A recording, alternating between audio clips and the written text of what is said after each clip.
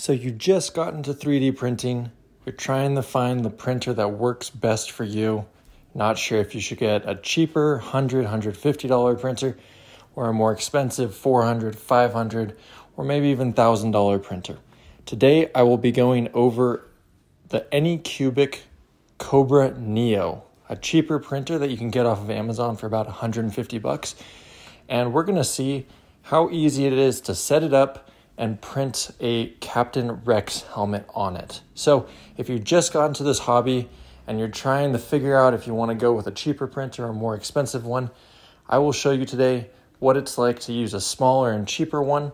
I usually use the Creality CR10S, which has a bigger build plate, which allows me to print full helmets in one print.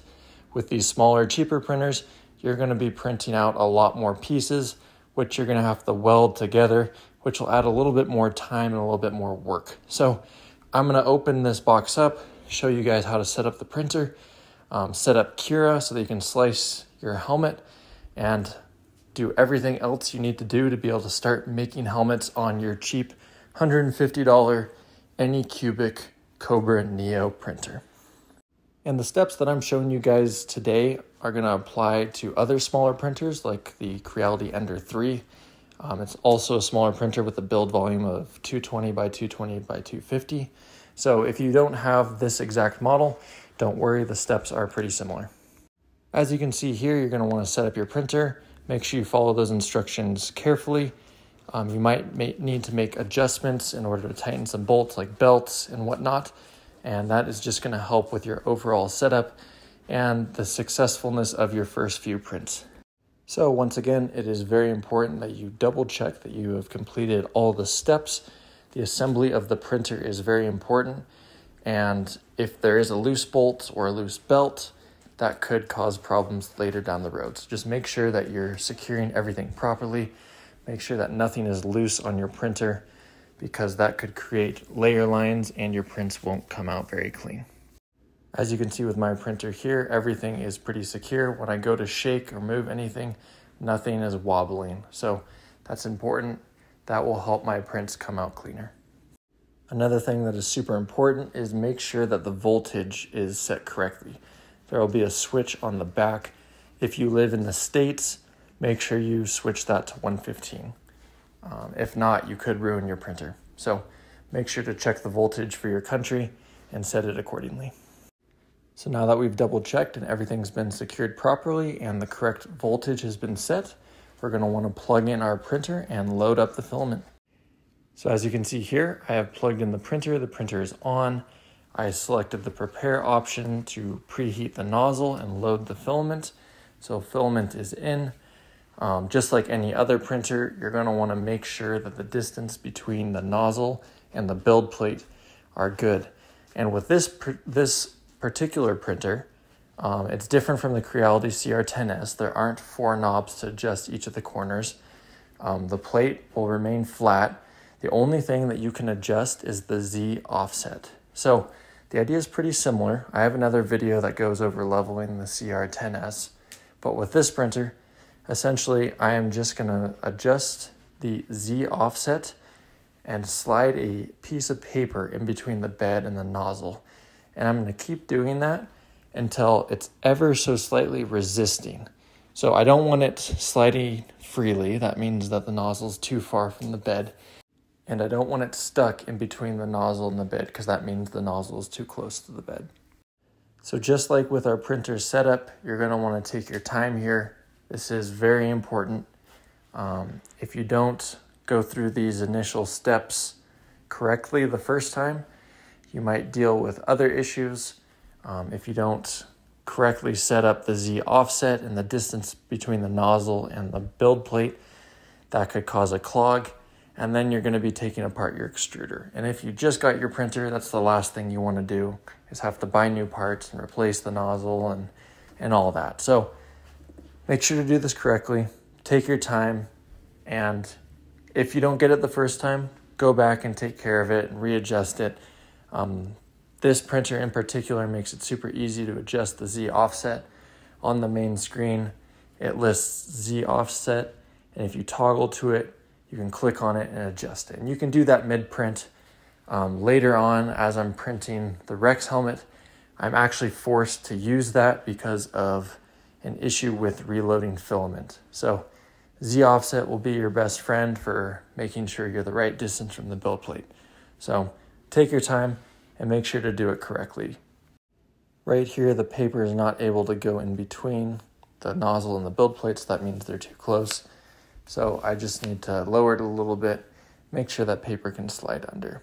So still a little bit too close, give it a little bit more space, and after multiple adjustments, I'm finally able to get it to slide under and get that ever so slight resistance. So the printer's set up, everything's secured, the Z offset is set appropriate for your printer. Next is to do a test print. So the little SD card that you get with the printer will come with a pre-sliced model. So with this printer is an owl. So I had the printer preheat the bed, the nozzle, filament was loaded up, bed was leveled, and I went and printed this little owl. So first impressions with this print, um, on the bottom there was a little bit of a layer shift as you can see there. Um, I'm not sure why it did that. I didn't have any issues with all the Rex pieces after.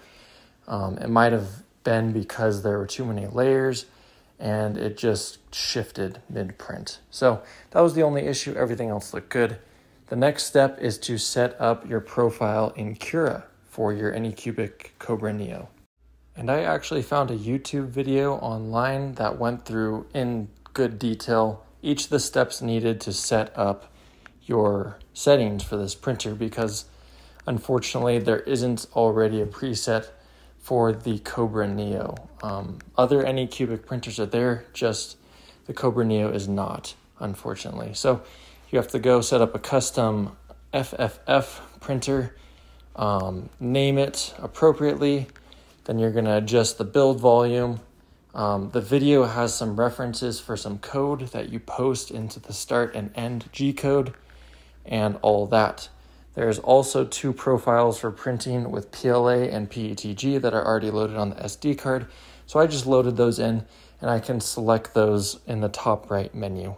So if you go there to the top right and scroll down, there's already a presetting for PLA that I uploaded. Once again, it was already downloaded on the SD card.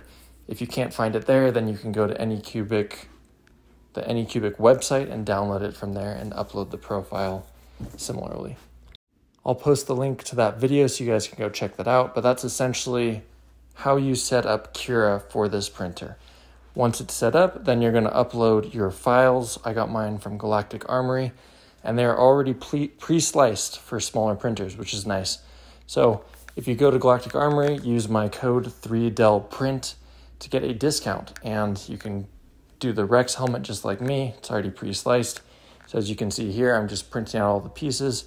Once again, with this printer, it took 10 prints instead of just one or two with my larger printer. The overall quality was pretty good considering it was the very first print. There were a few mishaps in the layer lines, and that back round piece actually morphed quite a bit, which was unfortunate. Um, like I said before, there was an issue with reloading filament, I paused the print and then switched out the filament and loaded in the new filament, and it was actually one millimeter off. So it wasn't printing on the piece, and I had to adjust the Z offset to save that print, which was unfortunate. But with all these smaller pieces, the next step is to weld all the parts together. So I have another video that goes over this, but essentially I'm just going to use tape and my soldering iron, and I'm just going to go along the seams on the inside doing little dashes and little X's, melting the plastic together to secure those pieces together to hold them. It took me around an hour to do this, so once again, if you just buy a bigger printer, you won't have to deal with this issue because you'll be able to print an entire helmet in one piece. So that is a downside to printing with a smaller printer. But as you can see here, and what's nice is I printed in multiple colors. Um, I have all my pieces welded together, so you can kind of see the seam lines and like I said before, the morphing on the back was unfortunate. So I melted it down a little bit with a soldering iron. I'm gonna have to go in with a lot of filler and kind of fill that in. There's a little bit of a gap right there as well. So once again, that's something that you may have to deal with with printing smaller pieces. And it's not the end of the world. You can use a lot of filler um, to kind of fill those in and take care of that. It's just more work and more time. So bigger printer, you won't have to deal with that issue. And I decided um, this is actually something that was new and I've never done it before, but I decided to try it out. I used a hot glue gun to kind of fill in all those gaps between each of the parts. So it does two things for me. It fills in that empty space. So it's something that I can sand and it'll already be filled. It'll make my job a lot easier. It does that, but it also secures the parts a little bit better. The plastic's already melted together, but putting the hot glue in those seams definitely helps as well. So once again, this is the first time I've done this and it actually worked pretty well. I'm impressed with how it turned out and it just filled in all those big gaps that would have been super annoying to fill with Bondo or wood filler. And I'm probably still going to have to use a lot of filler, but it like I said, it creates that extra bond. On the back, once again, it's not looking too good. I had to put a lot of glue in there um, so I already got the filling process started, which is nice. Um, and it just helps secure those parts together as well. So just an idea. You can try it out or you don't have to. You can just use more conventional wood filler and Bondo and whatnot. But it turned out pretty good for me. But there you have it. It is in pretty rough condition. There is still a lot more work to be done, but it is possible to make a helmet on a smaller printer. As you can see here, it's fully printed, it's fully assembled. I have a lot of smoothing to do, a lot of layer lines to fill, but it is a helmet nonetheless. So, up to you. It is possible to do it on a smaller printer, or you can be like me and use a bigger printer. That's what I recommend. But if you can only afford a smaller printer, follow these steps. It'll help you start along your journey of making props. Hope this video helped. Thank you guys so much for watching. Make sure to like and subscribe, and I'll see you in the next one.